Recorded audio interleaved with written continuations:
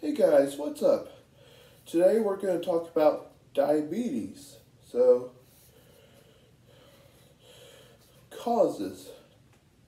Type 2 diabetes occurs when the body becomes resistant to insulin. Cells become unable to absorb glucose. So that was number one. I read number two. Uh, so this is uh, that's part one. I read of causes. So I'm reading part two of causes. Genetics, lifestyle, and excess belly fat can contribute to type 2 diabetes. So that was causes. Now we're going on to treatments. Treatments.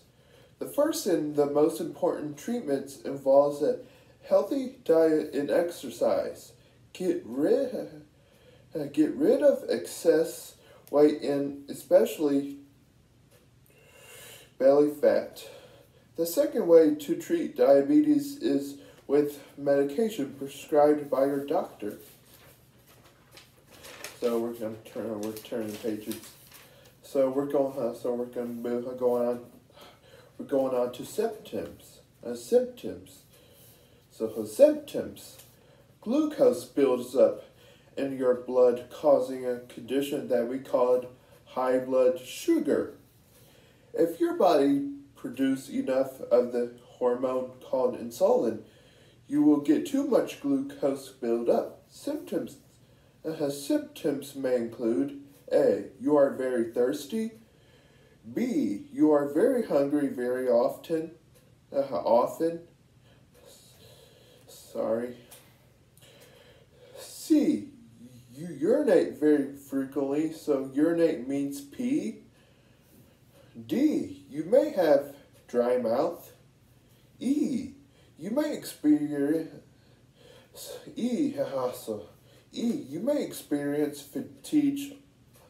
Uh, fatigue often. Uh, often, I'm sorry. Okay. Fatigue means that we're um, extreme that I'm extreme tired, extremely tired. That we experience extreme tiredness, very extreme tiredness. So, going on to F now. F. You may have a tingling sensation in your hands and your feet. So, I'm turning the page. Going to prevention. Prevention. Number one, exercise is a good way to prevent diabetes, but change up your exercise routine often.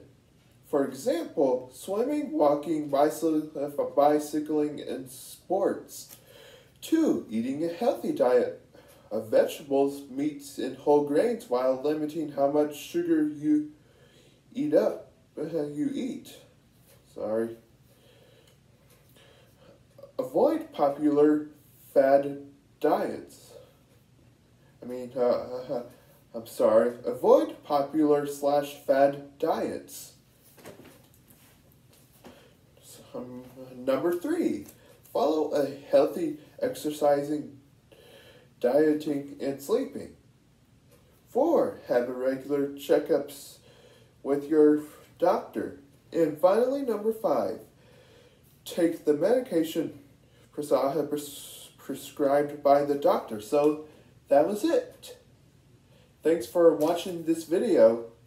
Uh, that was all three of them. Uh, that was all three categories.